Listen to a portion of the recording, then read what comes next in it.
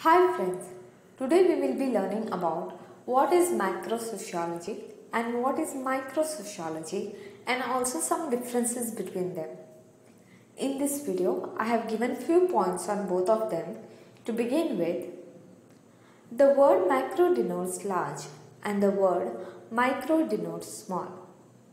Macrosociology is the study of large-scale social phenomena in groups, organizations or social systems. And microsociology is the study of human behaviors in groups, organizations or social systems.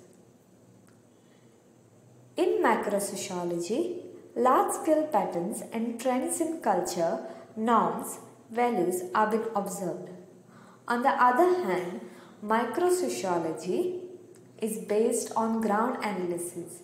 It studies perceptions, beliefs and various facets of social construction of reality.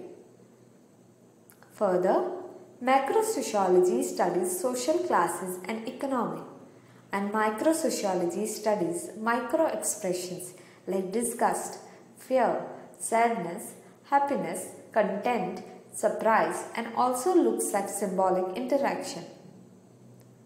Overall, macrosociology refers to sociological approaches and methods that examine large-scale patterns and trends within the social structure, system and population. And microsociology studies actions, behaviors, patterns and interactions at ground level.